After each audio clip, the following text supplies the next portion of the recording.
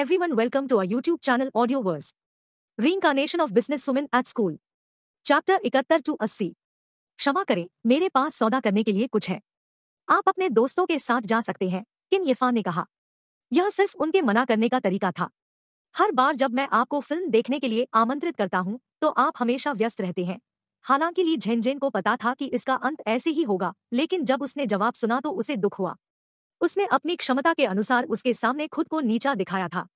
वह इतना ठंडा क्यों रहेगा? ली झेनझेन एक अमीर परिवार की खूबसूरत, सेक्सी और पढ़ी लिखी महिला थी। उसके पास वह सब कुछ था जो एक पुरुष, एक महिला से उम्मीद कर सकता है।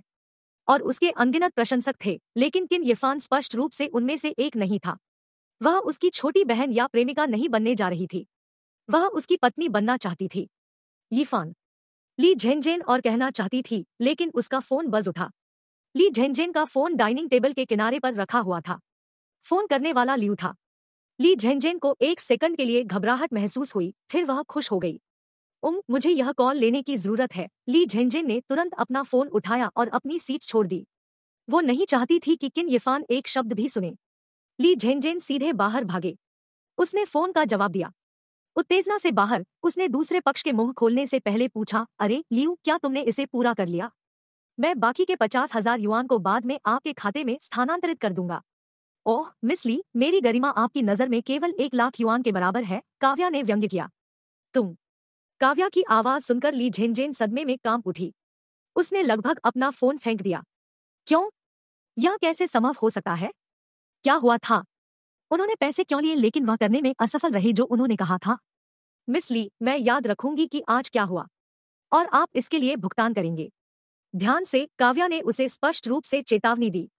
तुमने मुझे धमकी देने की हिम्मत की, हालाँकि ली झेनझेन को डर लग रहा था, लेकिन वह काव्या की बातों से चिढ़ गई थी। उसका चेहरा बदल गया, वह अब शातिर लग रही थी। हाँ मैंने तुम्हें धमकी दी थी, काव्या ने बिना किसी हिचकिचाहट के स्वीकार किया। ली झेनझेन अब गुस्से में थी, लेकिन उसे पछतावा भी हुआ। थोड़ी देर बाद, काव्या ने कहा, मिस ली, चूँकि आप ऐसा करने में सक्षम है, आपको इसके परिणाम भुगतने होंगे। फिर काव्या ने ली झेनझेन के कुछ कहने से पहले ही फ़ोन रख दिया। ली झेनझेन इतनी पागल थी कि उसने लगभग अपना फ़ोन तोड़ दिया। वह वास्तव में काव्या की पृष्ठभूमि नहीं जानती थी, लेकिन चूँकि काव्या के पास कॉल करने के लिए लियू का फ़ोन था, इसलिए काव्या कोई साधारण व्यक्ति नहीं होना चाहिए। इस प्रकार ली झेनझेन काव्या की धमकी के बारे में असहज महसूस कर रहे थे। अब ली झेनझेन वास्तव में कोई फ़िल्म देखने के मूड में नहीं थी। उसने खुद को किन यफान के साथ खाना खत्म करने के लिए मजबूर किया, फिर उसे घर चलाने के लिए कहा। उसे डर था कि घर जाते समय उसके साथ कुछ भयानक हो सकता है। ली झेनझेन ने किन यफान को अपना साथ देने के लिए कहना बंद कर दिया, जिससे वह खुश हो गया। लेकिन अगर उसे कारण पता होता तो शायद वह इतना शांत न होता। दूसरी तरफ़ काव्या ने फ़ोन काट दिया, फिर सीधे उस आदमी की तरफ़ फेंक दिया। वह मुड़ी और चली गई। काव्या को नहीं पता था कि वे उससे बदला लेने की कोशिश करेंगे या नहीं। वह जो कुछ कर सकती थी, वह अपनी रक्षा कर सकती थी। काव्या कार के पास चली गई। उसने बेहोश आदमी को ड्राइवर सीट से खींचा, फिर उसे ज़मीन पर पटक दिया। वह अपने भीतर बैठ गई। काव्या ने कार स्टार्ट की और चली गई। काव्या के जाने के बाद, सहयोगी के विपरीत दिशा में, एक काली मासेराती वहीं रुक गई। कार की खिड़की धीरे धीरे नीचे चली गई। अंदर दो आदमी बैठे थे, काव्या के जाने का रास्ता देख रहे थे। ड्राइवर सीट पर कैजुअल सूट में करीब 25 साल का एक युवक सवार था। उसका चेहरा विस्मय और उत्साह से भरा हुआ था। वाह, मुझे उम्मीद नहीं थी कि यह युवा लड़की इतनी मज़बूत और शक्तिशाली हो सकती है। मुझे उसके साथ झगड़ा करने का मन कर रहा है। आप निश्चित रूप से हार जाएँगे। यात्री सीट से एक ठंडी आवाज़ आई। युवक तुरंत परेशान हो गया। यात्री सीट पर बैठने वाला व्यक्ति कई वर्ष बड़ा था। वह सुंदर सुविधाओं के साथ लगभग तीस वर्ष का था। उसके पास शक्ति की हवा थी। यह सुनकर युवक नाराज़ हो गया। उसने शिकायत की, बॉस, अपने ही दोस्त को परेशान मत करो, ठीक है? क्या आप उन सभी को एक मिनट में हरा सकते हैं? आदमी ने पूछा। उम युवक को शर्मिंदगी महसूस हुई। ज़ाहिर है, वह नहीं कर सका। हालाँकि वह उन्हें कुछ ही मिनटों में हरा सकता था, लेकिन वह उस तरह से नहीं कर सकता था जैसे लड़की ने किया था। जॉन फिंग, पता लगाओ कि इन लोगों का मुखिया कौन है। मेरी अनुमति के बिना किसी खरीदार का पैसा चोरी छिपे लेने की उनकी हिम्मत कैसे हुई? आदमी ने ठंडेपन से कहा। वह ज़ाहिर तौर पर नाराज़ था। वह आदमी वास्तव में किंग गैंग सीटू ये का अध्यक्ष था। हालाँकि किंग गैंग एक गिरोह था, लेकिन इसके सिद्धांत और नियम थे।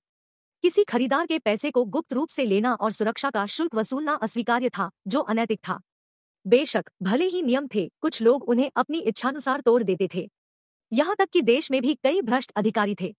जब तक उन्हें खोजा नहीं गया था, तब तक वे अनैतिक काम करते रहेंगे। हाँ बॉस, चू जॉनफेंग ने उत्तर दिया। थोड़ी दूर जाने के बाद काव्या एक तरफ़ रुक गई, इसलिए नहीं कि वह खो गई थी, बल्कि उसे अपने असली ड्राइवर को खोजने की ज़रूरत थी। वह अब ड्राइवर के प्रति आधी चिंतित और आधी संदिग्ध थी। अगर ड्राइवर गैंगस्टरों में से एक था तो क्या होगा? क्या होगा अगर ड्राइवर खुद परेशानी में था? काव्या ने अपना फ़ोन निकालते हुए कार रोक ली। उसने तुरंत ड्राइवर को बुलाया। दुर्भाग्य से किसी ने उत्तर नहीं दिया। जैसे ही काव्या पुलिस को बुलाने वाली थी, ट्रंक से एक आवाज़ आई। काव्या के मन में अचानक एक विचार आया। उसने तुरंत एक बटन क्लिक किया, फिर कार से बाहर निकली और ट्रंक की ओर चल पड़ी। वह वहाँ था। असली ड्राइवर जो उसे ले जाने वाला था, अब कसकर बंधा हुआ था और उसका मुँह ट्रंक में चीर से भरा हुआ था। काव्या को देखकर उसकी आँखें तुरंत चमक उठीं। वह जानता था कि काव्या उसे बचाने के लिए यहाँ होनी चाहिए। वह उत्साह में काव्या के सामने बुदबुदाया। ड्राइवर को सकुशल देखकर काव्या को भी राहत मिली। उसने तुरंत उसे खोल दिया। उसके मुँह में लगा कपड़ा हटाया गया। ड्राइवर आज़ाद था। उसने फ़ौरन माफ़ी मांगी, miss Guo I am sorry मुझे नहीं पता कि उन्होंने मेरे साथ ऐसा क्यों किया। मुझे बचाने के लिए बहुत बहुत धन्यवाद। यह सोचकर ड्राइवर अब भी दहशत से काँप रहा था। मुझे क्षमा करें। यह वास्तव में मेरी गलती है। वे मुझे निशाना बना रहे थे, काव्या ने कहा। फिर उसने उसे सब कुछ बताया जो अभी हुआ था। क्या ड्राइवर हैरान था, लेकिन उसने काव्या को दोष नहीं दिया क्योंकि वह भी एक शिकार थी। क्योंकि अभी बहुत कुछ हुआ था। जब काव्या आखिरकार होटल पहुँची तो रात के आठ बज चुके थे। काव्या भूख से मर रही थी तो उसने तुरंत रूम सर्विस को फ़ोन किया। उसने आज दोपहर शहर में कपड़े खरीदने की योजना बनाई थी, लेकिन उसके पास अब समय नहीं था। हालाँकि शॉपिंग सेंटर अब भी खुला था, काव्या न केवल अपने लिए कपड़े खरीदने जा रही थी, वो गुमान और गुकविंग के परिवार के लिए भी कुछ खरीदेगी। इस प्रकार एक घंटा उसके लिए खरीदारी करने के लिए पर्याप्त नहीं था। काव्या के पास कपड़े का दूसरा बदलाव नहीं था। उसे आज रात अपने कपड़े धोने थे और उम्मीद है कि कल सूख जाएगा। उसके बैग में उसकी स्कूल यूनिफॉर्म थी, लेकिन वह उसे पहनना नहीं चाहती थी। भीड़ में यह बहुत स्पष्ट होगा। उसका डिनर अभी तक नहीं आया था। काव्या ने गुमान को थोड़ी देर बात करने के लिए बुलाया। फिर उसने कुछ देर के लिए वीचैट समूह में चूपेहान और अन्य लोगों के साथ बात की। शाम की हवा ठंडी और हल्की थी। इसने लोगों के साथ नृत्य किया। कभी कभी यह थोड़ा सर्द था। सिटी जी के डाउनटाउन में सबसे बड़ा मनोरंजन स्थल किंग्स क्लब था। शोरगुल वाले क्लब में रंग बिरंगी रोशनी जगमगा उठी। पुरुषों और महिलाओं ने पागलपन से डांस फ्लोर पर अपनी कमर हिलाई और हवा इच्छा और विलासिता से भरी थी। लेकिन एक निजी कमरे में जो मुख्य हॉल से अलग था, केवल हल्का संगीत और कोमल बातचीत थी। इस विशाल निजी कमरे में बिना बार गर्ल के केवल पाँच पुरुष थे। ज़ाहिर है, यहाँ कुछ खास चल रहा था। एफ़ सी के, हम इस बार भाग्यशाली थे। हम रेड फ्लेम टीम के दिग्गज कप्तान रेड वुल्फ से भी मिले, जिन्होंने हमारे सात लोगों को मार डाला। सभी सैनिकों का लगभग सफाया हो गया था। सौभाग्य से, हम तेज़ी से भागे। अन्यथा, हम चुत गए। एक युवक ने कराहते हुए सिगरेट की बट को ज़मीन पर पटक दिया। ऐसा प्रतीत होता है कि उसके दिल में गुस्सा है। मैंने सुना है कि रेड वुल्फ बहुत शक्तिशाली है। मुझे परवाह नहीं थी, लेकिन मैंने इस बार देखा है। वह सचमुच बहुत शक्तिशाली है। वह एक दर्जन से अधिक लोगों के साथ लड़ सकता था और सात को मार सकता था। उसे केवल दो बार गोली मारी गई थी, एक नग्न ऊपरी शरीर वाले एक भारी मांसल व्यक्ति ने कहा। हालाँकि वह अपने प्रतिद्वंद्वी से मृत्यु तक घृणा करता था, लेकिन वह उसकी प्रशंसा भी करता था। सौभाग्य से उसे गोली लग गई, और वह हमें ट्रैक नहीं कर पाया। या हमें ढूंढ लिया जाएगा, एक शातिर नज़र वाले अपेक्षाकृत छोटे आदमी ने कहा। लेकिन हम बहुत लापरवाह नहीं हो सकते। आखिरकार, दूसरी टीम महत्वपूर्ण राष्ट्रीय टीम की कप्तान है। शायद वह किसी को हमारे पीछे आने के लिए भेजेगा। इसलिए जैसे ही हम कल सफलतापूर्वक व्यापार करेंगे, हमें खाली कर दिया जाएगा। लेकिन उन्हें शहर के केंद्र में वाणिज्यिक भवन क्यों चुनना है? वहाँ बहुत सारे लोग हैं। क्या उन्हें खोजे जाने का डर नहीं है? एफ़ सी के। उन्हें बस इस बात का डर रहता है कि हमें पैसा मिल जाए, लेकिन उन्हें सामान नहीं देते। इसलिए सबसे सुरक्षित स्थान वह है जहाँ आसपास बहुत से लोग हों। अगर हम वास्तव में उन्हें सामान नहीं देंगे तो वे तुरंत दंगा करेंगे और पुलिस को ले आएँगे।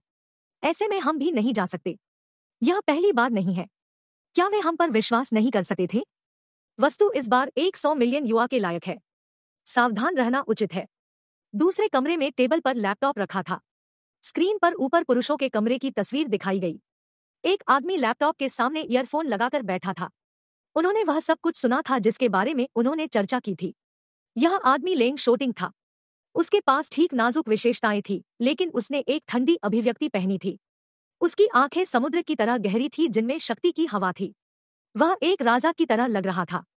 लेंग शोटिंग के पीछे दो आदमी खड़े थे। उन दोनों ने स्क्रीन पर भी देखा, लेकिन उन्होंने जो कहा था उसे नहीं सुना। बॉस, उनका अगला आंदोलन क्या है? लेंग शोटिंग को अपना ईयरफोन निकालते देख एक आदमी ने पूछा। वे शहर के व्यावसायिक भवन में व्यापार करने जा रहे हैं। उनके स्थान पर नज़र रखें। लेंग शाउटिंग ने चेहरे पर एक गंभीर नज़र के साथ शांति से कहा। लेंग शोटिंग ने उन्हें अभी नहीं मारा। वह उन्हें चारा के रूप में इस्तेमाल करना चाहता था। उनका सिर यहाँ नहीं था और वस्तु सिर के हाथों में थी। अगर उसने उन्हें अभी मार डाला तो उनका सिर घबरा जाएगा। उन्हें वास्तव में पता नहीं था कि उनका सिर कहाँ था। यदि वे जानते होते तो वे उसके पास आकर तुरंत उसे मार डालते। अगले दिन काव्या सुबह आठ बजे तक नहीं उठी। काव्या वास्तव में पहले जाग चुकी थी, लेकिन उसके पास करने के लिए कुछ नहीं था। शॉपिंग सेंटर सुबह आठ बजे खुला था, इसलिए उसने उस समय तक अपना गर्म बिस्तर नहीं छोड़ा। इसके अलावा, काव्या आज दोपहर दो बजे वापस सिटी एफ़ के लिए उड़ान भरेगी। शॉपिंग सेंटर में खरीदारी करने के लिए उसके पास पूरी सुबह थी। उसे बिल्कुल भी हड़बड़ी करने की ज़रूरत नहीं थी। उसे आज शॉपिंग सेंटर में झो झेंगहोंग के साथ अनुबंध पर हस्ताक्षर करने की भी आवश्यकता थी। नियत समय सुबह ग्यारह बजे था, जो लंच के लिए अच्छा समय था। काव्या उठी तो नीचे चली गई। उसने बाद में चेक आउट किया। शॉपिंग सेंटर ज़्यादा दूर नहीं था। वहाँ पैदल चलने में करीब बीस मिनट लग गए। इस प्रकार काव्या को टैक्सी लेने की कोई आवश्यकता नहीं थी। वह सीधे वहाँ चली गई। उसने अपना नाश्ता आधा कर लिया था। जब वह आखिरकार शॉपिंग सेंटर पहुँची तो लगभग सुबह के नौ बज चुके थे। आज रविवार था। सुबह नौ बजे शॉपिंग सेंटर में पहले से ही काफ़ी लोग मौजूद थे। महिला के कपड़े दूसरी मंजिल पर थे, इसलिए काव्या सीधे दूसरी मंजिल पर चली गई। शॉपिंग सेंटर इतना बड़ा था। ऐसा लग रहा था कि यह कभी खत्म नहीं होगा। काव्या को अचानक समझ नहीं आया कि कहाँ से शुरू करूँ। वह बेतरतीब ढंग से दोनों तरफ़ के कपड़ों के माध्यम से एक दिशा में चली गई। अगर उसे किसी ब्रांड का स्टाइल पसंद आता तो वह अंदर चली जाती। कुछ समय बाद काव्या को एक इंटरनेशनल डिज़ाइनर ब्रांड मिला। यह बेहद महँगा था। लेकिन कितना भी महँगा क्यों ना हो, काव्या के लिए अब कुछ भी नहीं था। आपसे मिलकर अच्छा लगा। स्वागत है। जब काव्या ने कदम रखा तो एक सेल्सवुमेन तुरंत उसके पास आई। मिस, क्या मैं मदद कर सकती हूँ? क्या मैं उन कपड़ों पर एक नज़र डाल सकता हूँ जो चालीस के आसपास की महिला के लिए उपयुक्त है? काव्या ने पूछा। ज़रूर, मिस, कृपया मेरे पीछे आओ। सेल्सवुमन ने काव्या को एक जगह जाने के लिए गाइड किया। काव्या की नज़र पड़ी। उसे कुछ भी पसंद नहीं आया। क्या आप कृपया मुझे अपने रिश्तेदार के शरीर का प्रकार बता सकते हैं? सेल्सवुमन ने पूछताछ की। उसके पास मेरे जैसा ही शरीर है। अगर मैं इसे पहन सकती हूँ तो यह उसे भी फिट आएगा, काव्या ने जवाब दिया। काव्या एक सौ सड़सठ सेंटीमीटर लंबी और दुबली पली थी। फिर सेल्सवुमन ने काव्या को दिखाते हुए कपड़ों का एक टुकड़ा चुना। मिस, यह कैसा है? यह अच्छा लग रहा है। काव्या ने इसे देखा और तुरंत इसे पसंद कर लिया। यह गुमान के लिए उपयुक्त होगा। वह इसे लेने वाली थी और करीब से देखने वाली थी। लेकिन इससे पहले कि काव्या हाथ से कपड़े के टुकड़े को छूती, दूसरे हाथ ने पहले उसे पकड़ लिया। मैं यह पसंद है। मैं इसे आजमाने जा रहा हूँ। यह एक महिला थी जो अपने शुरुआती चालीसवें वर्ष में थी। वह शानदार कपड़ों में थी, लेकिन यह केवल उसके रूपरंग तक ही सीमित थी। उसके पास समान अच्छे शिष्टाचार नहीं थे। अच्छे शिष्टाचार वाली महिला कभी भी किसी दूसरे व्यक्ति के हाथ से कोई चीज़ नहीं छीनती। वहीं रुक जाओ, काव्या ने आलोचना की। वह परेशान थी। काव्या को यह बर्दाश्त नहीं हुआ कि महिला ने उसके हाथ से कपड़े का टुकड़ा पकड़ लिया। लेकिन वह महिला ऐसे चली गई जैसे उसने काव्या की आवाज़ नहीं सुनी हो। यह देखकर काव्या के चेहरे पर झुंझलाहट के भाव आ गए। वह आगे बढ़ी और महिला के रास्ते में खड़ी हो गई। महिला ने काव्या को लगभग खटखटा ही दिया। वह काव्या से थोड़ा डर गई और चिल्लाई, तुम क्या करना चाहती हो, जवान लड़की? क्या आप मुझे चोट पहुंचाना चाहते हैं? आपको इसके लिए जिम्मेदार होना चाहिए। महिला की चीख ने दुकान में मौजूद अन्य लोगों का ध्यान खींच लिया। लोगों ने तुरंत उन्हें देखने के लिए घेर लिया। क्षमा करें, मैंने आपके सामने यह परिधान चुना है, काव्या ने शांति से कहा। अगर वह ऐसा नहीं चाहती थी तो उसे कोई आपत्ति नहीं थी, लेकिन चूँकि वह चाहती थी, इसलिए वह कभी भी महिला को इससे दूर नहीं होने देती थी। जी, सिर्फ़ इसलिए कि आप इसे पहले चुनते हैं, इसका मतलब यह नहीं है कि आप इसके मालिक हैं। यह अब मेरे हाथ में है। खैर, अगर मैं कहूँ कि मैं यहाँ सभी कपड़े चुनता हूँ तो क्या इसका मतलब यह है कि आप उनमें से कोई भी नहीं खरीद पाएँगे? महिला ने तिरस्कार के साथ कहा। वाह, मुझे उम्मीद नहीं थी कि तुम इतने अमीर हो। तुम भी उन्हें सब चाहते हो। अरे, क्या तुमने सुना है कि उसने अभी क्या कहा? इस महिला ने कहा कि उसे यहाँ सभी कपड़े चाहिए। मुझे लगता है कि आज आपको जो कमीशन मिलेगा, वह आपको मिलने वाले एक साल के कमीशन से ज़्यादा होगा, काव्या ने एक सेल्स वुमन से कहा। उसने जानबूझकर सच्चाई को तोड़मरोड़ कर पेश किया। अपना मुँह बंद करें। मैं ऐसी बात नहीं की महिला गुस्से में काव्या पर चिल्लाई। हालाँकि वह अमीर थी, लेकिन यह अंतर्राष्ट्रीय डिज़ाइनर ब्रांड बहुत महँगा था और कपड़ों के एक टुकड़े की कीमत दर्जनों हज़ारों युआन थी। यहाँ दुकान में जितने भी कपड़े होंगे, उनकी कीमत कम से कम लाखों में होगी। महिला बिल्कुल इसे बर्दाश्त नहीं कर सकती थी। भीड़ सब जानती थी कि काव्या सच को तोड़मोड़ कर पेश कर रही है। किसी ने उसकी बातों को गंभीरता से नहीं लिया। वास्तव में क्योंकि अगर मैं इसे चुनता हूँ तो मैं इसे खरीदने जा रहा हूँ। और आप काव्या ने भड़कारे हुए कहा, तुम, औरत पागल थी। वह यह भी समझती थी कि काव्या उसे जानबूझकर चुनौती दे रही है, लेकिन वह अभी भी चिड़ी हुई थी। क्षमा करें, महोदया। इस युवती ने पहले कपड़ों के इस टुकड़े को चुना था। क्या आप कृपया दूसरे कपड़ों पर एक नज़र डालें? सेल्सवुमन ने महिला से माफ़ी मांगी। यह सुनकर भीड़ तुरंत समझ गई कि क्या हुआ है। महिला का व्यवहार सभी को पसंद नहीं आया। जियोली श्रीमती शाओ वीआईपी सिल्वर कार्ड के साथ हमारे लगातार ग्राहक है। उनके पास पहले चुनने की प्राथमिकता है। श्रीमती शाओ के साथ मौजूद एक अन्य सेल्सवुमेन ने बीच में ही टोका। उसने काव्या के साथ मौजूद सेल्सवुमन की तरफ़ भी देखा। ज़ाहिर है, पहले चुनने की तथाकथित प्राथमिकता से इसका कोई लेना देना नहीं था। सेल्सवुमन सिर्फ़ दम्भी थी। हालाँकि जियोली ने चेतावनी को नजरअंदाज कर दिया। उसने तर्क दिया, मिस वांग, मैं आपसे असहमत हूँ। जो पहले आता है वह पहले चुन सकता है। यहाँ तक कि एक वीआईपी ग्राहक भी दूसरे ग्राहक के कपड़े नहीं छीन सकता है। तुम, मिस वांग वापस बहस किए जाने से नाराज़ थी। यह मिस वांग हमेशा घमंडी थी और केवल अमीर लोगों की सेवा करती थी। श्रीमती शाओ इस बीच यहाँ अक्सर ग्राहक थी। वह ज़ाहिर तौर पर श्रीमती शाओ के साथ दोस्ताना संबंध बनाना चाहती थी। यह एक अंतर्राष्ट्रीय डिज़ाइनर ब्रांड की दुकान थी। सबसे सस्ती वस्तु की कीमत दर्जनों हज़ारों युआन है। इसके अलावा, एक सेल्सवुमेन को बिक्री पर दो परसेंट कमीशन मिल सकता है। हर बार जब श्रीमती शाओ यहाँ होती तो वे कम से कम अस्सी हज़ार युआन खर्च करती। कमीशन कई हज़ार युआन होगा। सभी दर्शक जियो ली से सहमत थे। वे भी असंतुष्ट महसूस कर रहे थे। बिल्कुल, एक वीआईपी ग्राहक भी दूसरे ग्राहक से कपड़े नहीं ले सकता। यह उचित नहीं है। यह अनुचित नहीं है। यह दम भी है। आप केवल वीआईपी ग्राहकों को ही कपड़े क्यों नहीं बेचते? जो कोई भी यहाँ कपड़े खरीदना चाहता है, उसके पास पहले वीआईपी कार्ड होना चाहिए। सत्य। जिन ग्राहकों ने उन्हें घेर लिया, उन सभी ने मिस वांग की आलोचना की, जिससे उन्हें शर्मिंदगी महसूस हुई, लेकिन उन्होंने मुंहतोड़ जवाब देने की हिम्मत नहीं की। श्रीमती शाओ इसके बजाय चिढ़ गईं। तो क्या हुआ? मेरे पास काफ़ी पैसा है। मुझे जो चाहिए वो खरीदूँगा। इससे आपका कोई मतलब नहीं। आप जो चाहे खरीद सकते हैं, लेकिन आप दूसरों से चीज़ें नहीं ले सकते, किसी ने तर्क दिया। बिल्कुल।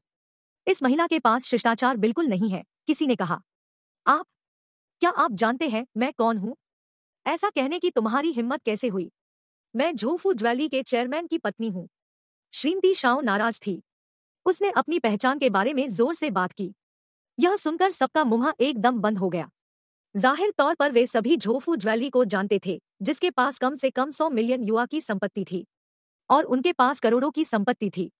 झोफू ज्वेलरी का मुकाबला करने की किसी की हिम्मत नहीं थी। काव्या थोड़ा हैरान हुई। उसे उम्मीद नहीं थी कि यह महिला शाओ पिंग की पत्नी होगी। शाओ पिंग और जो झेंगोंग की आपस में नहीं बनती थी। काव्या इसलिए शाओ पिंग के परिवार को भी नापसंद करती थी। वे दर्शक शाओ परिवार से डरते थे, लेकिन काव्या नहीं थी। उसने सीधे तौर पर आलोचना की, क्या आपको लगता है कि जोफू ज्वेलरी के अध्यक्ष की पत्नी के रूप में आप जो चाहे कर सकती हैं? तुम श्रीमती शाओ को उम्मीद नहीं थी कि काव्या शाओ परिवार से बिल्कुल नहीं डरती। लेकिन श्रीमती शाओ को बहुत गर्व था। सिटी एफ़ में और भी कई परिवार थे जो उनसे ज़्यादा अमीर थे। इसी दौरान स्टोर मैनेजर आ गया। क्या हुआ? किसी और के सामने काव्या ने थोड़ी निर्दयता से अपना मुँह खोला। आपसे मिलकर अच्छा लगा, मैनेजर। पहले मैं आपसे एक प्रश्न पूछता हूँ। क्या यह सच है कि आपका वीआईपी ग्राहक दूसरे सामान्य ग्राहक से सीधे कपड़े ले सकता है जब तक वह चाहता है? यह कैसे संभव है? जो पहले आता है, वह पहले चुनता है। एक वीआईपी ग्राहक को केवल छूट मिल सकती है, स्टोर मैनेजर ने तुरंत समझाया। बहुत पहले उसे जल्द ही एहसास हो गया कि क्या हुआ था। वह फिर मिस वांग की ओर मुड़ा, वांग यूनियन, क्या हुआ?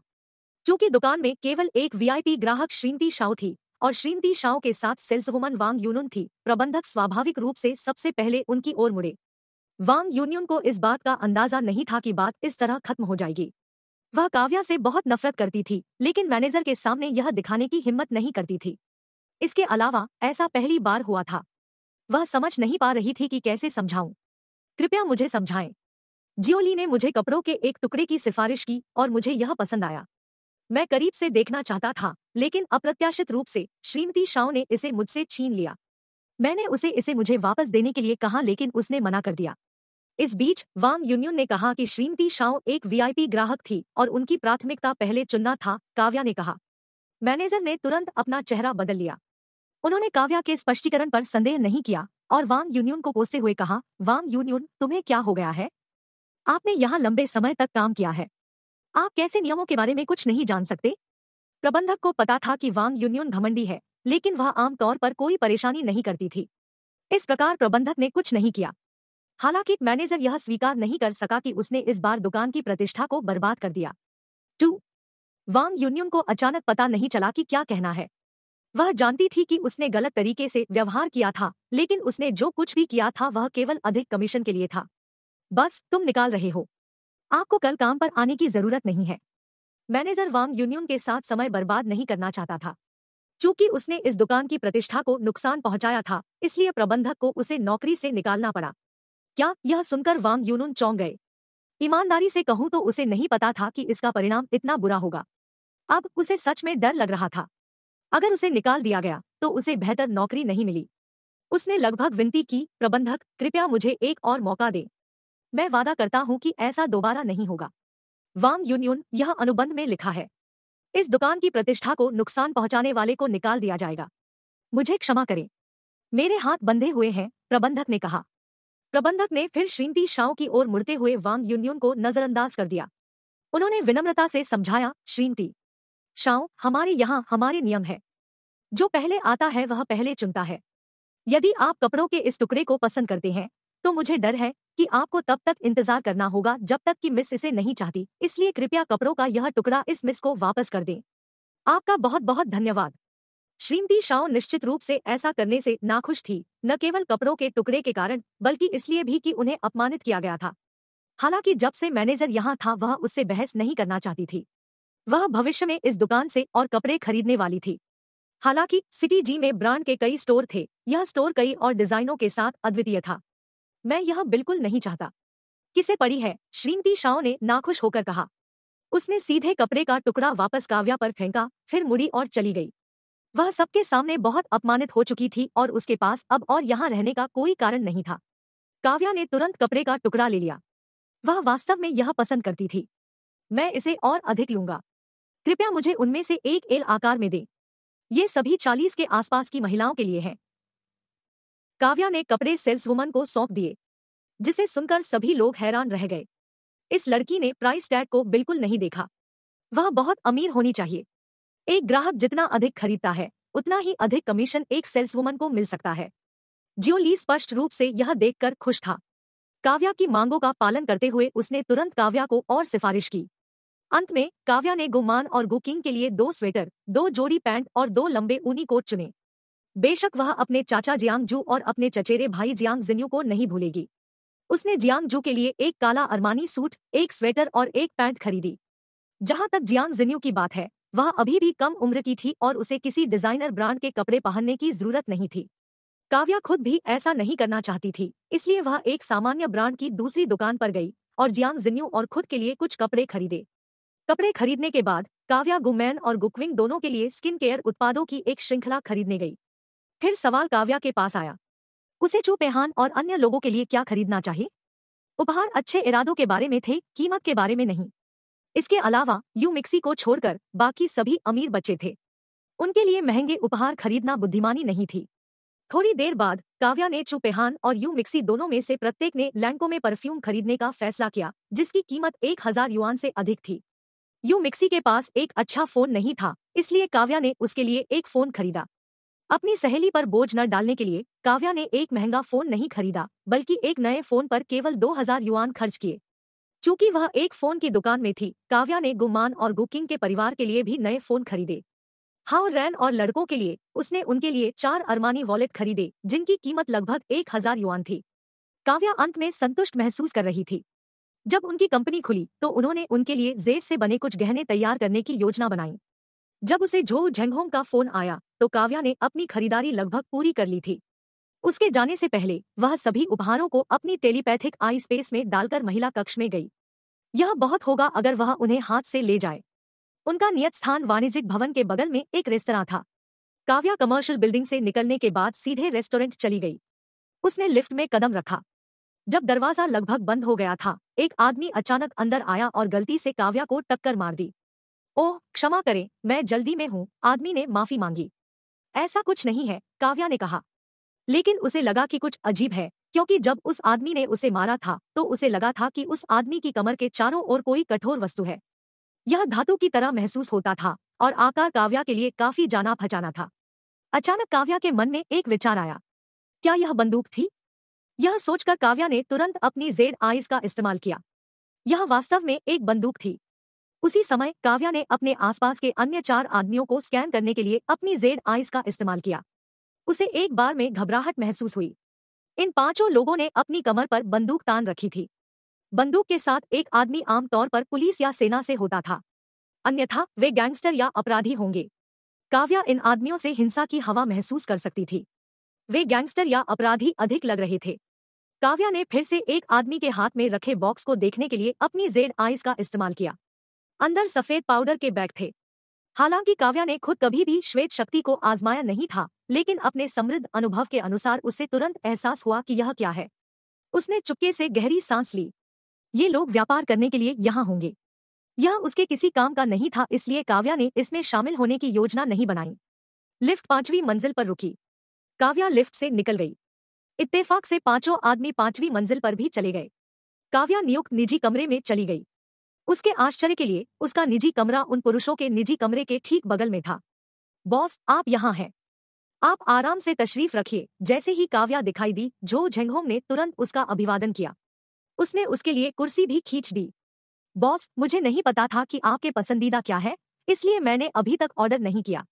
अब कृपया भोजन का आदेश दें। जो झेंगहोंग ने मेन्यू काव्या को सौंप दिया, फिर सर्विस की घंटी बजाई। जब एक वेटर ने दरवाज़ा खोला तो काव्या ने देखा कि आदमियों का एक समूह वहाँ से गुजर रहा था। उसने अप्रत्याशित रूप से पाया कि वह सामने वाले के फिगर से परिचित थी। हालाँकि जब उसने देखा तो वे जा चुके थे।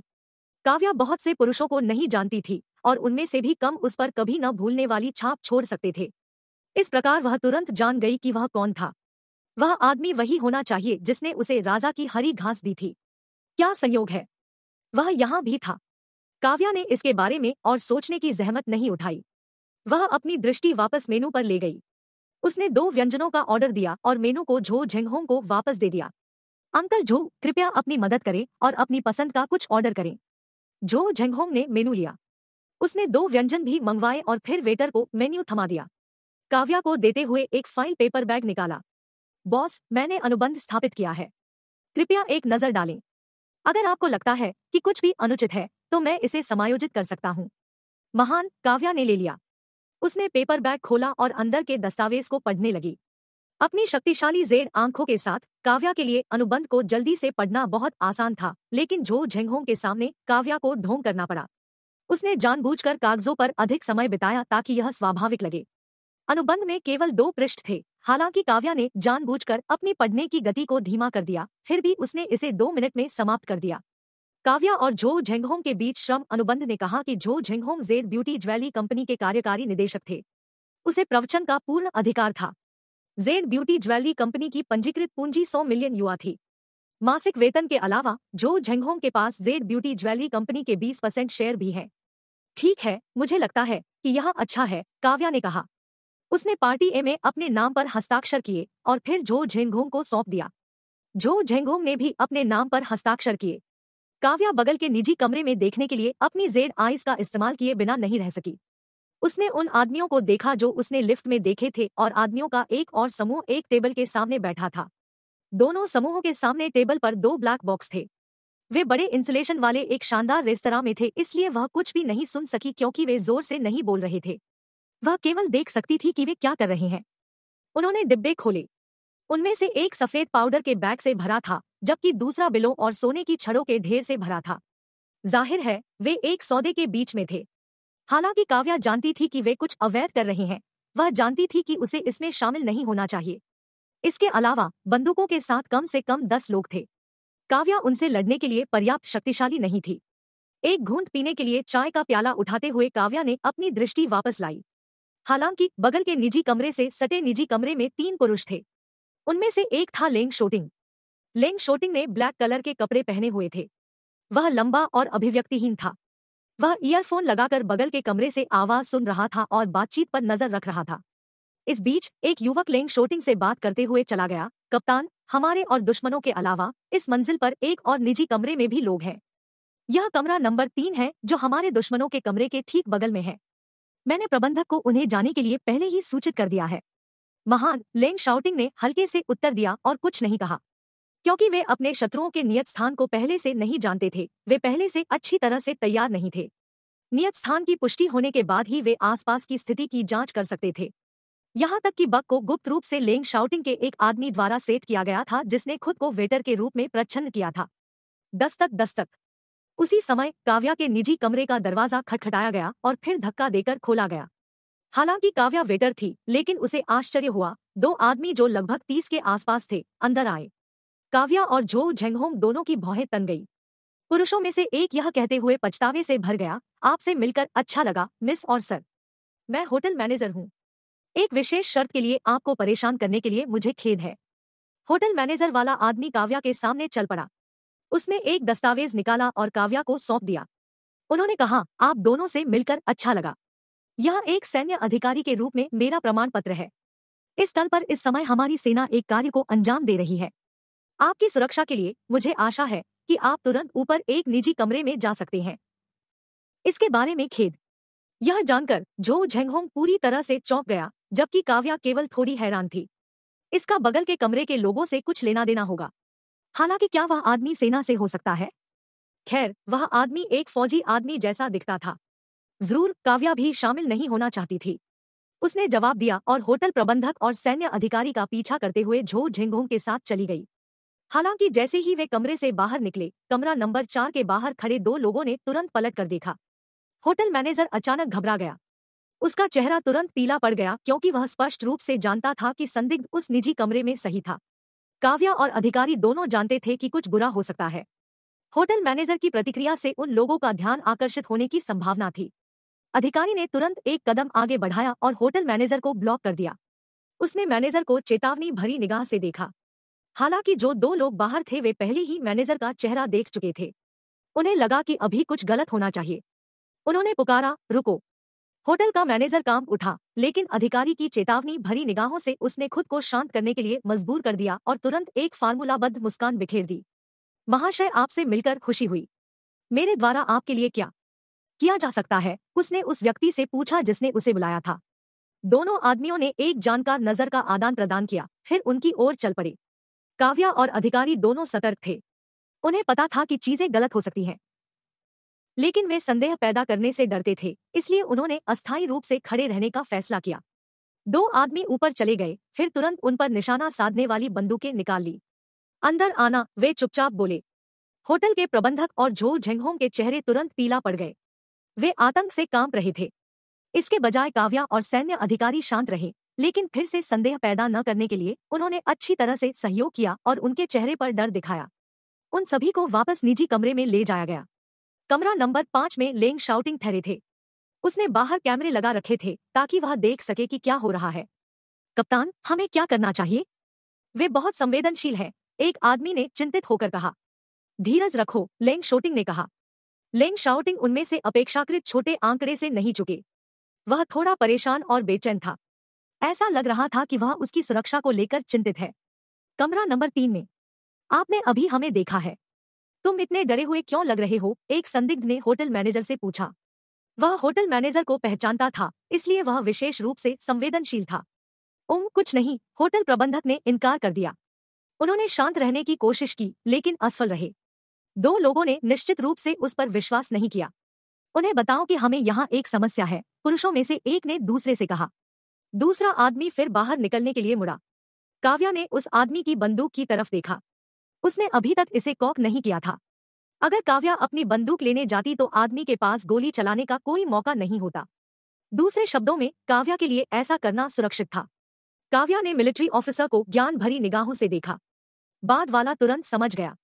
सैन्य अधिकारी भी चकित था। यह जवान लड़की बिल्कुल नहीं डरी। वह पहले अभिनय भी करना चाहती थी। सच कहूँ तो फौजी अफसर को काव्या की काबिलियत पर भरोसा नहीं था।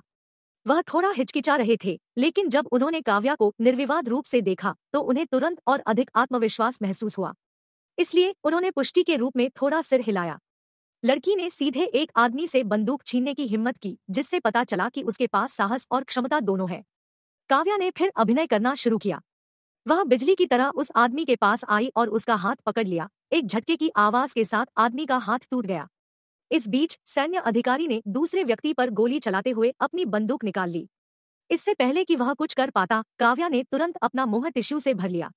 उसने फिर अपना हाथ उठाया और उसे अपनी गर्दन पर पटक दिया। आदमी तुरंत होश खो बैठा। क्योंकि अधिकारी की बंदूक साइलेंसर से लैस थी, उसने कोई आवाज़ नहीं की। उसने दूसरे आदमी के सिर में सटीक गोली मारी। वह आदमी फिर चुपचाप ज़मीन पर गिर पड़ा। यह सब इतनी तेज़ी से हुआ कि लोगों का ध्यान ही नहीं गया। दोनों व्यक्तियों को अभी भी यह एहसास नहीं हुआ कि उन दोनों के मारे जाने से पहले क्या हुआ था। होटल के प्रबंधक और झो झेंगहोंग दोनों ने सदमे में अपनी आँखें गोल कर ली। उन्हें ऐसा लग रहा था जैसे वे किसी सपने में हों। इसके बजाय सैन्य अधिकारी भी काव्या से हैरान थे। उसे उम्मीद नहीं थी कि यह जवान लड़की इतनी ताकतवर हो सकती है। वह भी उतनी ही अच्छी और तेज थी जितनी वह थी। वह एक वरिष्ठ विशेष कमांडर के रूप में कम से कम दस वर्षों के लिए सेना में रहा था और कम से कम दस वर्षों के शैतान प्रशिक्षण से गुजरा था। यह लड़की किस तरह के प्रशिक्षण से गुजरी थी? सैन्य अधिकारी ने मन ही मन सोचा। हालाँकि उसने सोचा, उसने नहीं पूछा। आखिर यह उनके किसी काम का नहीं था। इसके अलावा अब उसके पास तलने के लिए एक बड़ी मछली थी।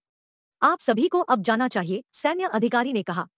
बहुत देर हो चुकी है, काव्या ने कहा। उसने देखा कि बगल के कमरे से कोई बाहर जा रहा है।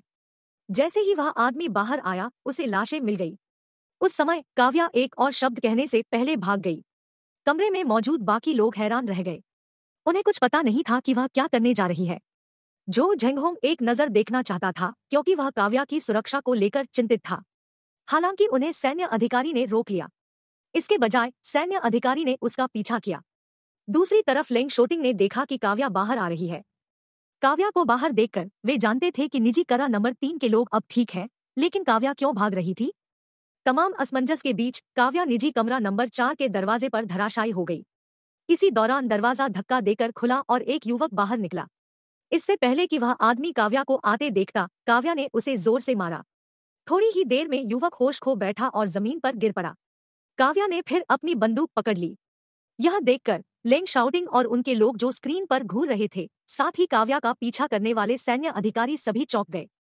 वे अब समझ गए थे कि काव्या ने ऐसा क्यों कहा कि अब बहुत देर हो चुकी है। लेकिन उसे कैसे पता चलेगा कि कोई आदमी बाहर आ रहा है? यह जानकर कि काव्या सुरक्षित है, लेंग शोटिंग को राहत मिली।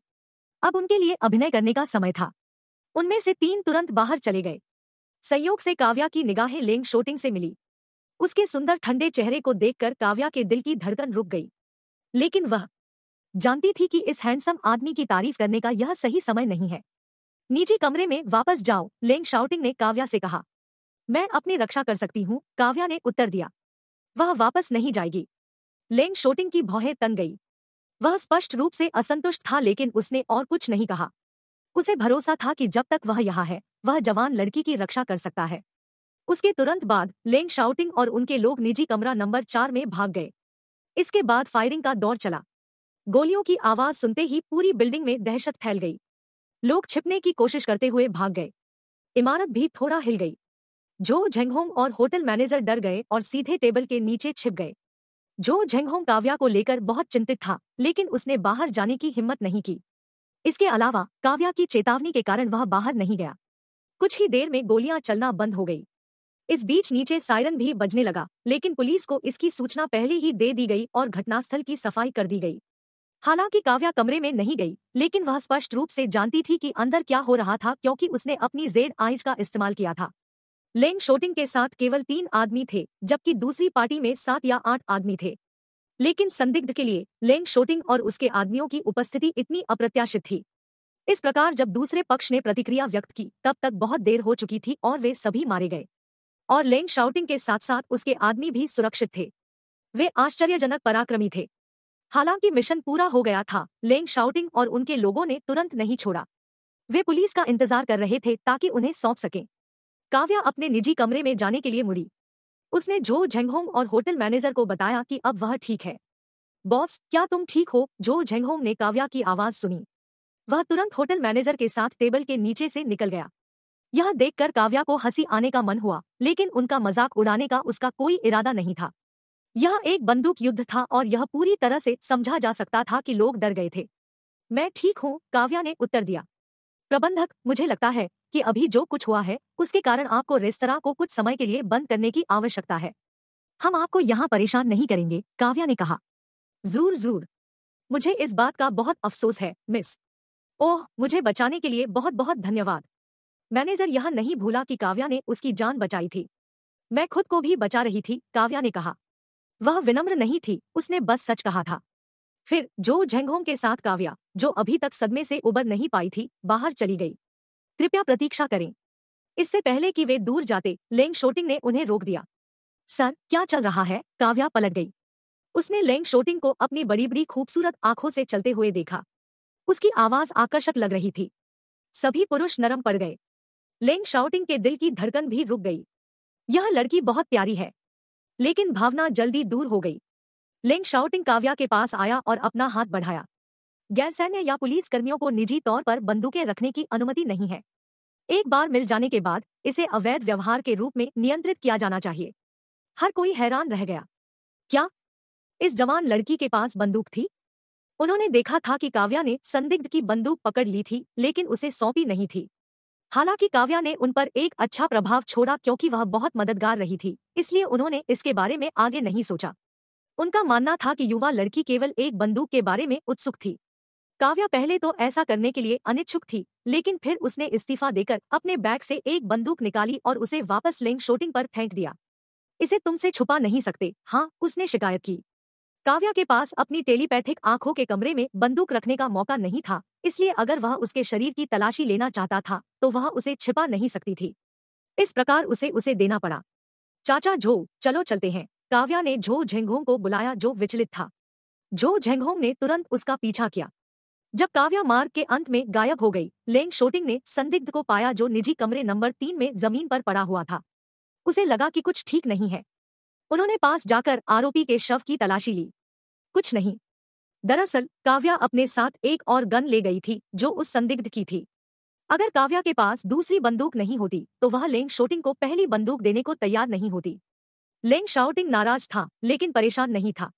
ऐसा लगता था कि वह उस पर भरोसा करता था और मानता था कि वह कुछ भी हानिकारक नहीं करेगी, इसलिए उसने उसका पीछा नहीं किया, बल्कि होटल में अभी अभी जो कुछ हुआ था, उस पर ध्यान केंद्रित किया। आखिरकार, वह जानता था कि वह सिटी एफ़ में नंबर तीन हाई स्कूल की छात्रा है। वह हमेशा उसे बाद में ढूंढ सकता था। बॉस, आप बहुत कमाल के हैं। जब वे होटल से बाहर निकले तो झो झेंगहोंग आखिरकार सदमे से उबर गए। वह अब काव्या की पहले से कहीं अधिक प्रशंसा करता था। काव्या महज अठारह साल की लड़की थी। अगर मैं कुछ नहीं कर पाती तो मैं आज़ादी से घूमने की हिम्मत नहीं कर पाती, काव्या ने कहा। ठीक है जो झेंगहोंग काव्या की बात से सहमत था। उनका हमेशा से मानना था कि काव्या पत्थर के जुए में उत्कृष्ट सटीकता वाली कोई साधारण लड़की नहीं थी। लेकिन आज वह फिर से चौंक गया था। अरे मालिक, क्या खाओगे? हमने अभी तक नहीं खाया है, जो झेंगहोंग ने पूछा। काव्या हालाँकि थोड़ी देर के लिए बोली, चलो गर्म बर्तन लेते हैं। ज़रूर, जो झंगहोंग ने उत्तर दिया। वे बाद में एक खाद्य केंद्र गए। भोजन के बाद दोपहर के बारह बजकर तीस मिनट बज चुके थे। काव्या की फ़्लाइट दोपहर दो बजे उड़ान भरेगी, इसलिए उसे एयरपोर्ट के लिए निकलना था। जाने से पहले, काव्या ने झो झेंगहोंग को सुविधा के लिए एक कार खरीदने के लिए कहा। उन्हें ऐसी कार चुनने की अनुमति दी गई थी, जिसकी कीमत एक मिलियन युवा के भीतर हो। इसके बाद काव्या चली गई। हवाई अड्डे के रास्ते में काव्या ने सोचा कि अगर वह किसी शक्तिशाली व्यक्ति को जानती है तो घर खरीदना जल्दी होगा। सिटी एफ़ में जिन लोगों को काव्या जानती थी, उनमें केवल एन कियान और किन येफान ही विश्वसनीय थे। काव्या की पहली पसंद किन येफान थी? वह एन कियान की पृष्ठभूमि नहीं जानती थी और निश्चित नहीं थी कि एन कियान में उसकी मदद करने की क्षमता है या नहीं। इस प्रकार काव्या ने किन येफान को बुलाया। उसी समय किन येफान ली झेन्यू के साथ एक कैफ़े में बैठा था। किन येफान एक परिपक्व और स्थिर व्यक्ति था, लेकिन एक बार इसमें काव्या शामिल हो गई तो किन येफान अचानक जीवंत हो जाएगा। जब काव्या का फ़ोन आया, किन यफान अपने होठों के कोनों पर मुस्कान के साथ खुश हो गया। काव्या, क्या हाल है? वह मधुर भी लगता था। ली झेन्यू ने उसकी सभी प्रतिक्रियाओं को देखा और असहज महसूस किया। क्या किन यफान काव्या को इतना पसंद करती थी? हालाँकि वह काव्या से नफरत करता था। उसे मानना पड़ा कि काव्या साधारण नहीं थी। उसके पास अच्छी उपस्थिति और असहनीय भाग्य, साथ ही पत्थर के जुए में प्रतिभा भी थी। इसके अलावा ली झेंझेन कल सदमे में घर आए थे। वह तब जानता था कि काव्या को सबक सिखाने के लिए ली झेंझेन ने गैंगस्टर का एक समूह नियुक्त किया था। लेकिन अप्रत्याशित रूप से काव्या पूरी तरह से ठीक थी। उसने लियू के फ़ोन से ली झेंझेन को फ़ोन किया और धमकी भी दी थी। पहले तो ली झेन्यू ने सोचा कि लियू को काव्या ने पैसों से खरीदा होगा। हालाँकि उनका लियू के साथ संबंध था, लेकिन वे करीब नहीं थे। इसके अलावा, लियू एक गैंगस्टर था जो पैसे के लिए कुछ भी कर सकता था। यह संभव था कि उसने पैसों के लिए ली झेंझेन को धोखा दिया हो। लेकिन आज सुबह उन्होंने खुद इसकी जाँच की थी। काव्या द्वारा लियू और उसके लोगों को घायल कर दिया गया था, और वे सभी अब अस्पताल में थे। ली झेन्यू पूरी तरह से सदमे में आ गई थी। यह उसकी कल्पना से परे था कि एक किशोर लड़की इतनी शक्तिशाली और मुश्किल हो सकती है, लेकिन वह अभी भी काव्या की पृष्ठभूमि को लेकर भ्रमित था। यदि वह एक सामान्य परिवार से होती तो वह उसकी बिल्कुल भी परवाह नहीं करता, लेकिन यदि वह एक शक्तिशाली अमीर परिवार से होती तो उसे अपने परिवार की भलाई के लिए दूसरी बार सोचना पड़ता। ली झेन्यू ने पहले काव्या की जाँच करने का फैसला किया। सौभाग्य से, भले ही काव्या जानती थी कि ली झेंझेन उन गैंगस्टरों के पीछे है उसके पास कोई सबूत नहीं था, इसलिए ली झेन्यू को यह चिंता करने की ज़रूरत नहीं थी कि काव्या उसकी बहन पर मुकदमा करेगी। ठीक है, मैं फेंगुआ लग्जरी मेंशन में दो अच्छी तरह से सजाए गए घर खरीदना चाहता हूँ। क्या आप किसी को जानते हैं, जो इसे जल्द से जल्द करवा सके, काव्या ने पूछा। किन यफान ने खुशी से जवाब दिया, आपने सही व्यक्ति को फ़ोन किया है। मेरा एक दोस्त है, जो वास्तव में फेंगुआ लग्जरी मेंशन का सेल्स मैनेजर है। मैं आपको बाद में कॉल करूँगा ताकि आपको सर्वोत्तम स्थान चुनने में मदद मिल सके और आपको सबसे बड़ी छूट मिल सके। किन येफान को पता था कि काव्या के पास 100 मिलियन युवा से अधिक की संपत्ति है, इसलिए जब उसने कहा कि वह फेंगुआ लग्जरी मेंशन में घर खरीदने जा रही है तो उसे आश्चर्य नहीं हुआ। इसके अलावा, वह सम्मानित महसूस कर रहा था कि काव्या मदद के लिए उसके पास आई। महान बहुत बहुत धन्यवाद, काव्या ने किन येफान की दया को स्वीकार किया। उसने वास्तव में छूट की परवाह नहीं की, लेकिन वह इसे अस्वीकार भी नहीं करेगी। आपका स्वागत है। एक बार यह हो जाने के बाद मैं आपको उसका नंबर भेजूँगा किन यफान ने कहा। धन्यवाद, काव्या ने कहा। जब वह फ़ोन रखने वाली थी तो उसके दिमाग में एक और बात आई। ओह, मैं लगभग भूल गया हूँ। मेरे पास अब एक पन्ना है, और मैं इसके साथ अपने परिवार के लिए कुछ गहने बनाना चाहता हूँ। मैं इसे यिकुई जेड स्टोर को देने की योजना बना रहा हूँ, ताकि जब आप सिटी एफ़ में वापस आ जाए तो इसमें मेरी मदद कर सके। क्या? आपने और जेड कार्ड दिया है। इसका प्रकार क्या है? जेड के बारे में सुनकर किन यफान इतना उत्साहित हो गया कि वह लगभग अपनी सीट से उछल पड़ा। कोई उसे दोष नहीं दे सकता था। काव्या ने कल ही दो उच्च स्तरीय जेड काट दिए थे, जो आश्चर्यजनक था। लेकिन उसने बाद में और भी कटौती की। वह इसके साथ अपने परिवार के लिए गहने बनाना चाहती थी तो यह एक उच्च स्तरीय जेड होना चाहिए। जब तुम वापस आओगे तो तुम्हें पता चलेगा। बेशक यह सामान्य नहीं है। काव्या ने जानबूझकर इसे गुप्त रखा। लेकिन किन यफान के लिए यह बस ठंडे पानी की एक बाल्टी थी जो उस पर गिर रही थी और उसका उत्साह तुरंत बर्बाद हो गया। इसके बजाय वह अब अति उत्सुक था। उसने शिकायत की, तुम मेरे साथ ऐसा कैसे कर सकते हो? यह अत्याचार है। मैं यह देखने के लिए इंतज़ार नहीं कर सकता कि यह किस प्रकार का है। मैं कल सुबह वापस आऊँगा। बेहतर होगा कि आप पहले अपने चल रहे व्यवसाय पर ध्यान दें। ठीक है, मैं लगभग हवाई अड्डे पर हूँ। अलविदा, काव्या ने कहा। अपना ध्यान रखें। किन येफान को पता था कि काव्या आज वापस जा रही है, इसलिए उसे आश्चर्य नहीं हुआ कि वह अब हवाई अड्डे पर थी। किन येफान के फ़ोन रखने के बाद, ली झेन्यू ने एक सार्थक नज़र से उससे पूछा, लड़की काव्या के प्रति तुम्हारा रवैया अलग है। मुझे सच बताओ, क्या आप उसे पसंद करते हैं? किन येफान अवाक रह गया? उसने काव्या की सराहना की, लेकिन वह नहीं जानता था कि वह खुद काव्या को पसंद करता है या नहीं। जब भी वह उसके साथ होता था तो वह खुश और तनाव मुक्त महसूस करता था। मुझे पता नहीं है किन यफान ने अस्पष्ट जवाब दिया क्योंकि वह वास्तव में नहीं जानता था। हालाँकि उसके अस्पष्ट जवाब से पता चला कि वह वास्तव में उसे पसंद कर सकता है। हालाँकि ली झेन्यू यह सुनकर निराश हुआ, लेकिन उसने कुछ नहीं कहा। वह स्पष्ट रूप से जानता था कि किन यफान ली झेंझेन को अपनी छोटी बहन की तरह मानते थे। वह उससे शादी करने को तैयार नहीं था, लेकिन ली झेन्यू को अब भी उम्मीद थी। किन यफान के माता पिता ली झेंझेन को पसंद करते थे? वे सभी चाहते थे कि किन यफान ली झेंझेन से शादी करे, लेकिन वे किन यफान की पसंद का भी सम्मान करेंगे। इसलिए ली परिवार अपने रिश्ते की भलाई के लिए किन यफान से ली झिनझिन से शादी करने का आग्रह नहीं कर सकता था। किन यफान ने तुरंत अपने दोस्त को काव्या की मदद करने के लिए बुलाया। वहीं रेस्टोरेंट में जो कुछ हुआ था उसका प्रसारण टीवी पर किया गया। लोग सभी हैरान रह गए। हालाँकि न्यूज़ रिपोर्ट्स में काव्या का ज़िक्र नहीं था। हालाँकि काव्या ने बंदूक युद्ध में बहुत मदद की थी, लेकिन लेंग शाउटिंग को डर था कि अन्य बदमाशों द्वारा उसका बदला लिया जाएगा, इसलिए उसने उन्हें उसका नाम नहीं लेने का आदेश दिया। दोपहर तीन बजकर पंद्रह मिनट बजे विमान सिटी एफ़ के हवाई अड्डे पर उतरा। काव्या ने अपना फ़ोन चेक किया और देखा कि उसे किन यफान का संदेश मिला है। किन यफान ने उसे बताया कि उसने सब कुछ तय कर लिया है। मैसेज के साथ उनके दोस्त का नाम और नंबर जुड़ा हुआ था। उस आदमी का नाम वेई झिरुई था। काव्या ने उन्हें धन्यवाद देने के लिए वापस मैसेज भेजा।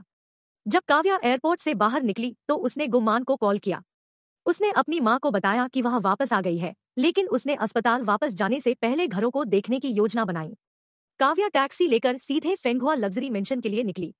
अपने रास्ते में, उसने भी झिरुई को विनम्रता से यह बताने के लिए बुलाया कि वह आ रही है, और उसका इरादा है। वे झिरुई निश्चित रूप से इस तरह के लाभदायक सौदे को अस्वीकार नहीं करेंगे। इसके अलावा, काव्या को उसके अच्छे दोस्त ने मिलवाया था, इसलिए वे झिरुई ने स्वाभाविक रूप से अपना जुनून दिखाया। आपसे मिलकर अच्छा लगा।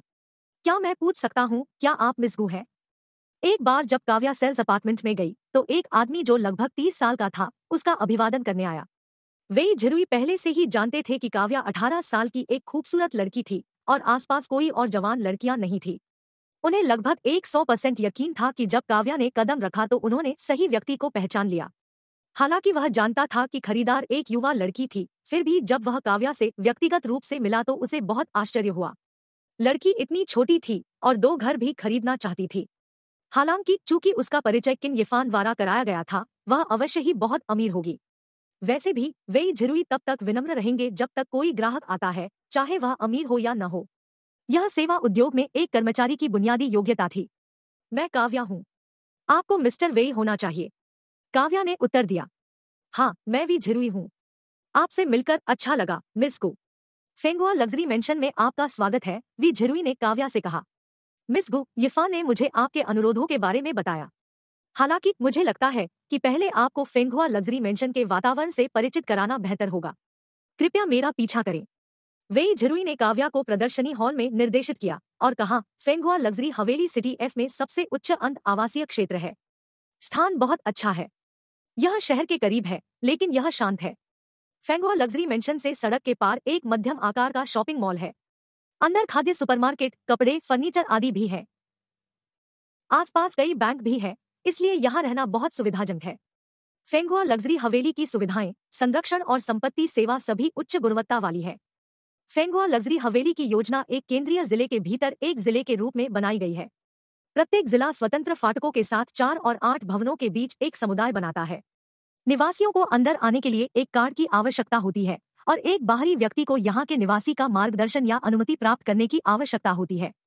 सुरक्षा गार्ड को सूचित करने के बाद ही बाहरी व्यक्ति अंदर आ सकता है। बेशक, यह संभव है कि कोई व्यक्ति गुप्त रूप से किसी निवासी का पीछा कर सकता है और अंदर आ सकता है, लेकिन अगर कोई आपको सीधे प्रभावित करता है तो आप तुरंत सुरक्षा कक्ष को कॉल कर सकते हैं। सुरक्षा गार्ड उसे जितनी जल्दी हो सके बाहर ले जाएगा। अंदर छोटे वर्ग, हरियाली, स्विमिंग पूल, अवकाश बार, जिम और छोटे भोजन सुपरमार्केट भी है। मिस गुप यदि आप अच्छी तरह से सजाए गए घर चाहते हैं तो स्थान और मंजिल के विकल्प सीमित है, क्योंकि हमारे पास प्रत्येक इमारत में अच्छी तरह से सजाए गए घरों के साथ केवल तीन मंजिलें हैं। हर बिल्डिंग के फ्लोर अलग अलग है। प्रत्येक मंजिल पर छह घर है, दो में चार बेडरूम, दो में तीन बेडरूम और दो में दो बेडरूम है।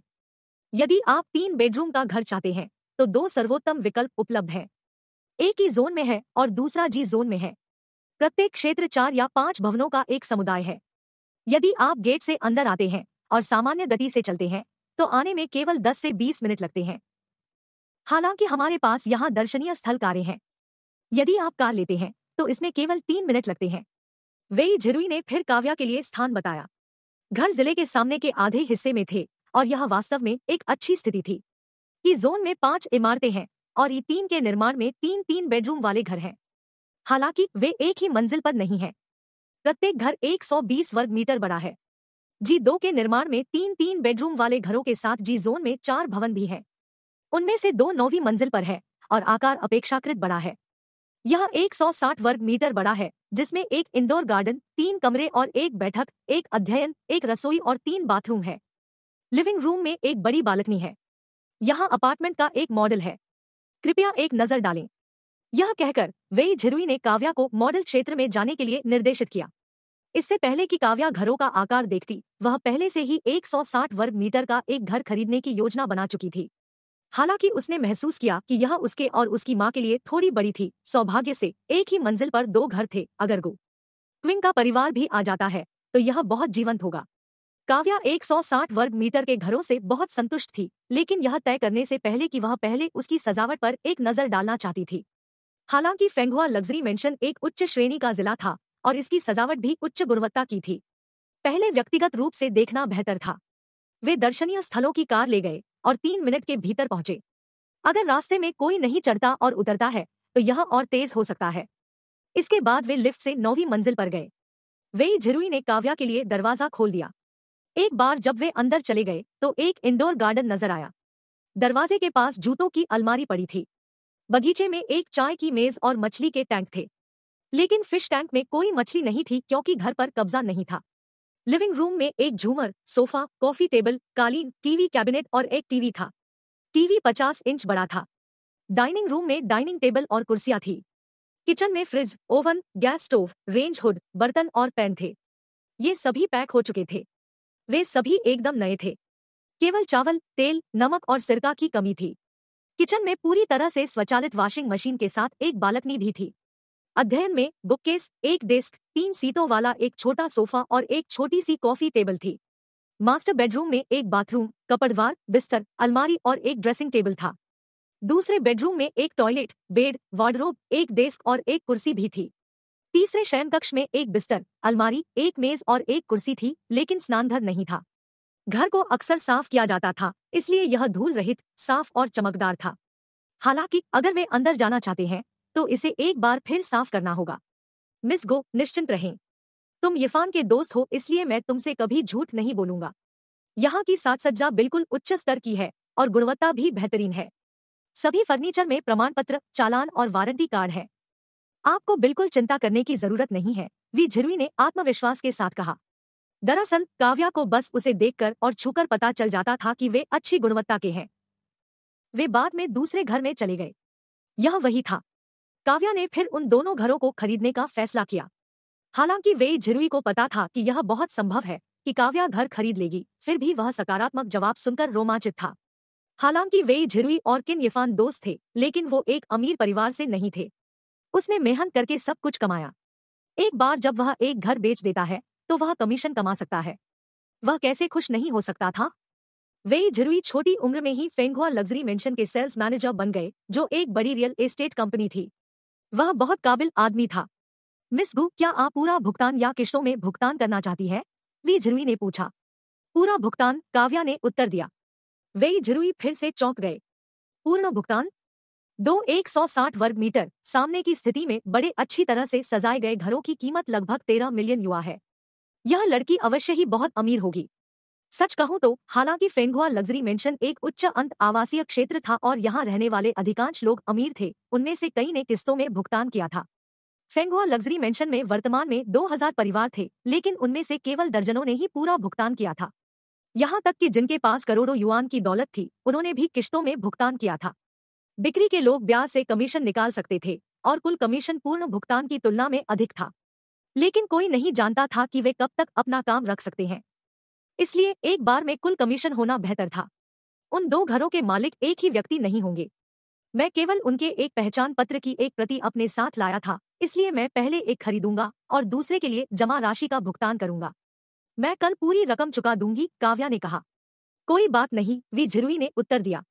फिर उन्होंने कानूनी प्रक्रिया में काव्या की मदद की। काव्या ने पहले ही गुमान के आईडी कार्ड की कॉपी तैयार कर ली थी। उसने संपत्ति के स्वामित्व प्रमाण पत्र पर केवल गुमान का नाम लिखा था। क्योंकि पहले घर का भुगतान एक मुश्त भुगतान के द्वारा किया जाता था, केवल पहचान पत्र की प्रति की आवश्यकता थी। दूसरा थोड़ा परेशानी भरा था। क्योंकि यह शादी के बाद खरीदा गया घर था, इसलिए घर का रजिस्टर, एक पहचान पत्र और एक विवाह प्रमाण पत्र होना ज़रूरी था। काव्या न केवल अपने घनिष्ठ संबंध के कारण संपत्ति के स्वामित्व प्रमाण पत्र पर गुकविंग का नाम लिखेगी। वह यह भी जानती थी कि उसके चाचा जियांगजू एक अच्छे इंसान थे, जो गुकविंग और जियांग जिन्यू के साथ बहुत अच्छा व्यवहार करते थे। इस प्रकार काव्या जियांगजू को एक बाहरी व्यक्ति के रूप में नहीं मानती थी। मिस गु, आपके दोनों अच्छी तरह से सजाए गए घर एक सौ पैंसठ वर्ग मीटर बड़े हैं। कुल कीमत तेरह दशमलव छह मिलियन युवा है। सबसे बड़ी छूट के बाद मैं आपको दे सकता हूँ। यह कुल मिलाकर बारह दशमलव नौ दो मिलियन युवा है, वेई झिरुई ने कहा। बहुत बहुत धन्यवाद। काव्या ने उसे ईमानदारी से धन्यवाद दिया। काव्या जानती थी कि उस आदमी ने अपना सर्वश्रेष्ठ प्रदर्शन किया है। और उस आदमी ने उसके लिए जो किया, उसकी उसने सराहना की। इसके अलावा, वेई झिरुई शायद उस सौदे से केवल एक लाख युवान ही हासिल कर सके। एक घर की कुल राशि छह दशमलव चार पाँच मिलियन युवा है, और दूसरे के लिए जमा राशि एक लाख युवान है। इस प्रकार मिस को आपको अभी छह दशमलव पाँच पाँच मिलियन युवा का भुगतान करने की आवश्यकता है वेई झिरुई ने कहा। जब वेई झिरुई ने काव्या को काउंटर की ओर निर्देशित किया तो कैशियर चौंक गया। क्या? पूर्ण भुगतान? खरीदार सुपर अमीर होना चाहिए। जल्द ही वेई झिरुई ने सभी कानूनी दस्तावेज़ पूरे कर लिए। काव्या के पास पहले से ही उस घर की चाबी थी जिसमें वह और गुमान आज जाने वाले थे। गुमान वास्तव में पहले ही ठीक हो चुकी थी और अस्पताल छोड़ने के लिए तैयार थी। काव्या के जाने से पहले, वेई झिरुई के पास एक चाबी छोड़ गई। उसने उसे प्रति घंटा कार्यकर्ता खोजने में मदद करने के लिए कहा। वह चाहती थी कि उसके आने से पहले घर को एक बार और साफ़ कर दिया जाए। यह निश्चित रूप से वी झिरुई द्वारा आसानी से संभाला जा सकता है। एक बार काव्या के चले जाने के बाद, पूरे सेल्स हॉल में यह खबर फैल गई कि वेई झिरुई ने पूरा भुगतान करके एक घर बेच दिया है। उन सभी ने वेई झिरुई से पूछा कि उसने यह कैसे किया। वेई झिरुई ने इसे गुप्त नहीं रखा। उसने अपने सहयोगियों को बताया कि खरीदार उसके दोस्त का दोस्त था। फिर उसने उन्हें बताया कि खरीदार आज पूरे भुगतान के साथ दो घर खरीदने की योजना बना रहा है, लेकिन उसके पास सभी दस्तावेज़ नहीं थे, इसलिए उसने पहले जमा राशि का भुगतान किया। वह कल वापस आ जाएगी। सब फिर से चौंक गए। वह लड़की अवश्य ही बहुत अमीर होगी। शाम के पाँच बजकर तीस मिनट बज चुके थे जब काव्या चली गई। उसने गुकिंग के परिवार को आमंत्रित करने के लिए तुरंत गुमान को फ़ोन किया। उसने जश्न मनाने के लिए उन सभी के साथ दोपहर का भोजन करने का इरादा किया। संयोग से गुकिंग का परिवार आज गुमान के साथ अस्पताल में था। इसलिए काव्या ने सीधे अस्पताल जाने का फैसला किया।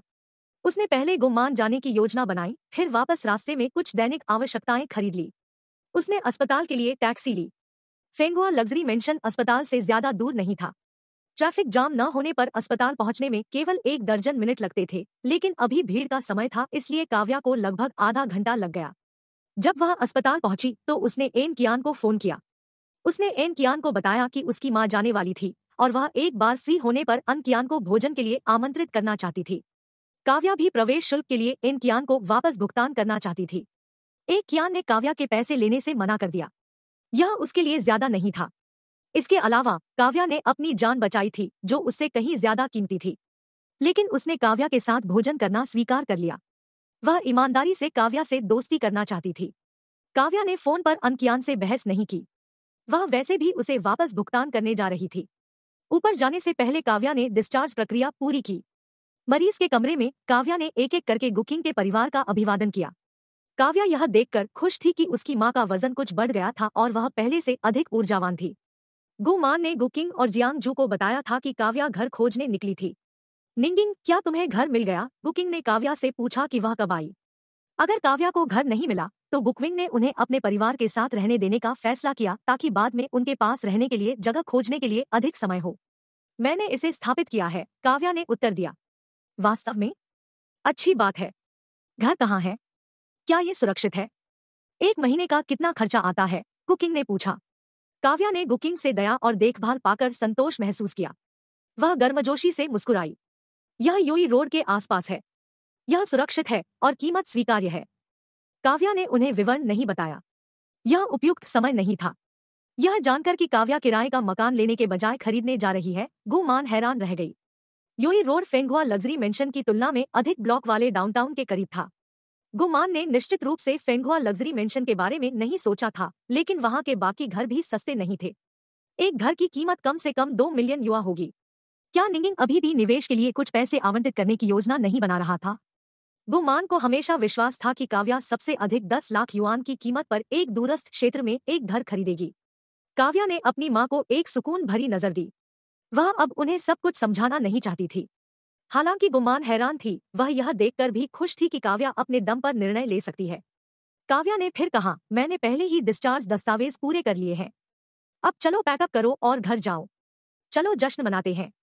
ओह, गुमान अब जा सकती है। वह बहुत अच्छा है। हमें जश्न मनाना चाहिए। हर कोई यह जानकर खुश था कि काव्या को एक घर मिल गया था और गुमान अस्पताल छोड़ने के लिए तैयार थी। गुकविंग ने सोचा कि काव्या और गुमान का शायद अब बजट कम है। क्योंकि उन्होंने प्रवेश और वीआईपी मरीज़ के कमरे की फ़ीस का भुगतान कर दिया था। इस प्रकार उसने उन्हें अपनी पहल पर आमंत्रित किया। यह भोजन मुझ पर है। इसके लिए कोई मेरा मुकाबला नहीं करेगा। नहीं नहीं। यह भोजन मुझ पर होना है। अब आप सभी को मानसिक रूप से तैयार होने की आवश्यकता है, क्योंकि मुझे आपको बाद में बताने के लिए कुछ बहुत महत्वपूर्ण समाचार है। काव्या ने गंभीरता से कहा। क्या खबर है? काव्या का गंभीर चेहरा देखकर बुकिंग और जियांगजू थोड़ा चिंतित थे। हालाँकि हालाँकि काव्या ने गंभीर चेहरा दिखाया, वास्तव में कुछ भी गलत नहीं था। इस प्रकार गुकविंग और जियांगजू को थोड़ा आराम मिला। केवल गुमान ही जानती थी कि क्या चल रहा है, लेकिन अगर गुमान को पता होता कि काव्या ने सिटी एफ़ के सबसे महँगे इलाके में दो घर खरीदे हैं तो वह पूरी तरह से चौंक जाती। जियांग जिन्यू के बारे में वह उत्सुक थी, लेकिन आगे नहीं सोचा। चलो अब घर चलते हैं। मैं आपको बाद में बताऊँगी, काव्या ने आग्रह किया।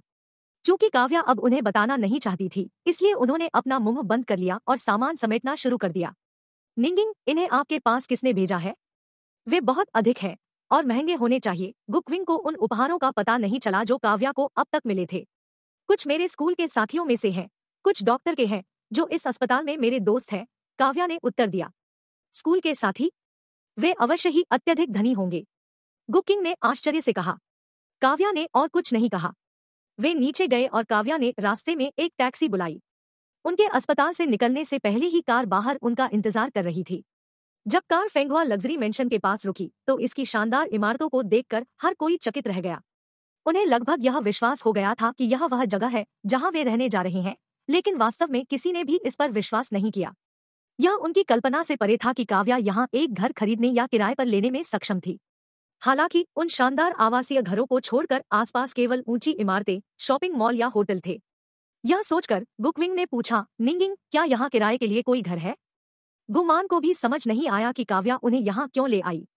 काव्या ने कहा, अभी हमारे पास दैनिक जरूरतों की बहुत सी चीज़ें नहीं हैं तो चलिए पहले सुपरमार्केट चलते हैं। यह सुनकर सभी तुरंत समझ गए। गुकिंग ने कहा, ओ, ठीक है। आपने अभी एक नया घर किराए पर लिया है। अंदर कुछ भी नहीं होना चाहिए। फिर उनका समूह सुपरमार्केट में चला गया।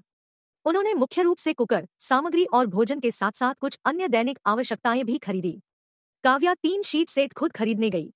वे इतने कम समय में अपनी ज़रूरत की हर चीज़ नहीं खरीद सकते थे, इसलिए उन्होंने केवल आज के लिए ज़रूरी हर चीज़ खरीदी।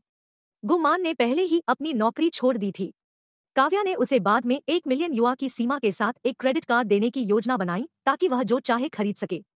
जब वे भुगतान करने गए तो बाकी सभी बाहर इंतज़ार कर रहे थे, जबकि काव्या बिल का भुगतान कर रही थी। किसी और को नहीं पता था कि उन्होंने कितना खर्च किया है।